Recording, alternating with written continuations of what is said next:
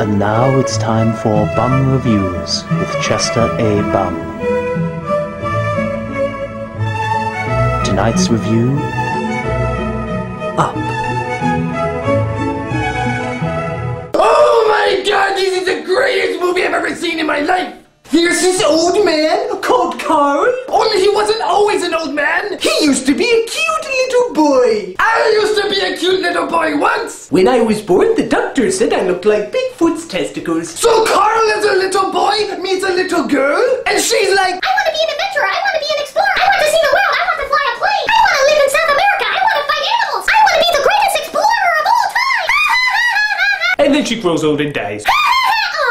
So Carl really misses the old lady Slash little girl monkey. So he decides there's only one logical thing to do. Tie a million balloons to his chimney and fly away with his house. Of course! That's what all old people should do! We should send all the old people into the sky? Then everybody will be complaining about how slow they fly! Hey Grandpa, can your house go any slower? Come on, step on the helium! So Carl is flying in the sky, but it turns out There's an Asian Boy Scout!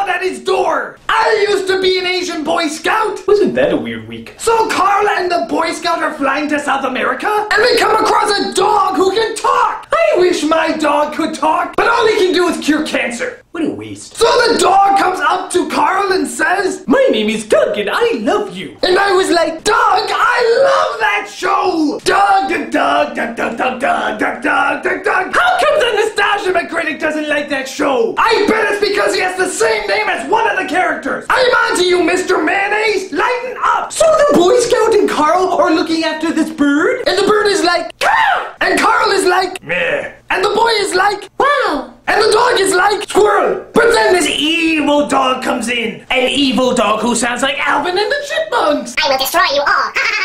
Along with Alvin, Simon, and the fat one. So the bird sees the chipmunk dog and he's like, Carl! And Carl is like, meh. And the boy is like, wow. and the dog is like, squirrel. And the chipmunk dog is like, Indeed. But then they come across this old adventurer named Muntz, and Carl is like, I used to watch you all the time when I was a boy. And Muntz is like, and for some reason, we're almost exactly the same age. Yeah, that was weird. But it turns out Muntz is after the bird, and Muntz is like, bird. And the bird is like, Carl! And Carl is like, meh. And the boy is like, Wow. and the dog is like, squirrel. And Chipmunk dog is like, Indeed. so there's this big chase scene on this blimp, and all the characters are there.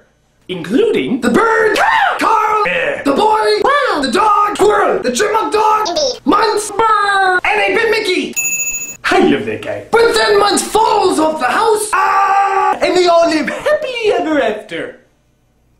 All of them. The bird, Carl, the boy, the dog, the chipmunk dog, Indeed. Muntz, No, no, not once. He's he's dead. and the crowd roared with applause. I tell you, this movie inspired me. To tie a million balloons to my house and make it fly. Which shouldn't be too hard considering I'm living in a bottle of Pepsi. It's almost paid off. This is Chester E. Boom saying, Change! You got change! Ah, come on, help a guy out, will ya? Come on, change! Well, at least help me buy some balloons. My Pepsi bottle can be a mobile home.